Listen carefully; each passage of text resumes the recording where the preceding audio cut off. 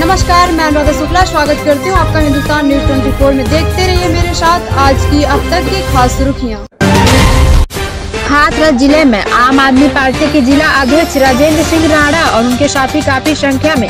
कार्यकर्ताओं ने बीजेपी सरकार के खिलाफ बोला हल्ला और जिलाध्यक्ष ने बताया जो भारत का प्रसिद्ध चैनल है, भारत समाचार और दैनिक भास्कर के संवाददाताओं के घर और वरिष्ठ पत्रकारों के घर पर।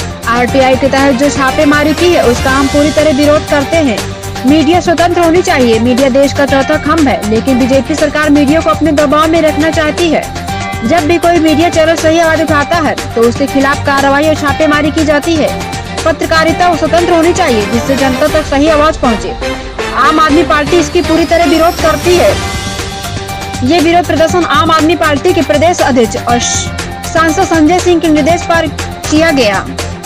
क्या नाम है मेरा नाम राजेंद्र सिंह राणा आम आदमी पार्टी जिला अध्यक्ष हाथरस।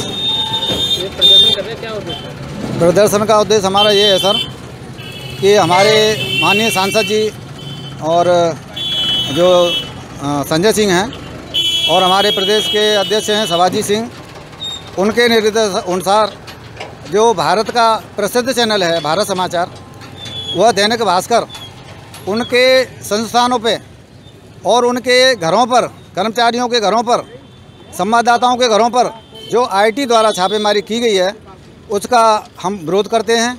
ये बिल्कुल गलत है। ये लोकतंत्र के चौथे स्तंभ की हत्या है।